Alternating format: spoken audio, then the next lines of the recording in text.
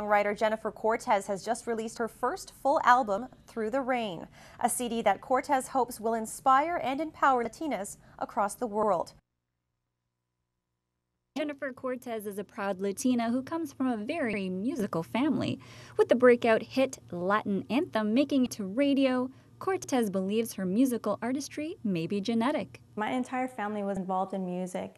Um, before I was born. My mom used to be a, well, she still is, but she, she's a singer um, in Ecuador together with her, um, my grandmother as well. And they released their own album. They had their own thing going on, their TV, radio appearances, all that. I guess uh, it runs in the family.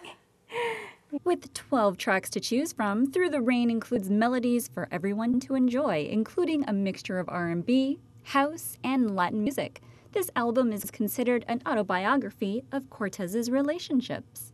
Some some songs are definitely intimate and others are more, you know, upbeat and things like that. So it's got a mixture, definitely taken from my diaries. There's breakups, there's also new new loves and interests. Um, there's also helping out a friend.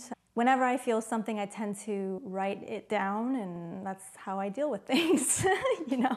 As an experienced and successful singer and musician herself, Jennifer's mother, Teresa Cortez, understands what it takes to make it in this business and is prepared to support her daughter no matter what. My, my desire is for my daughter to, to feel great about her art.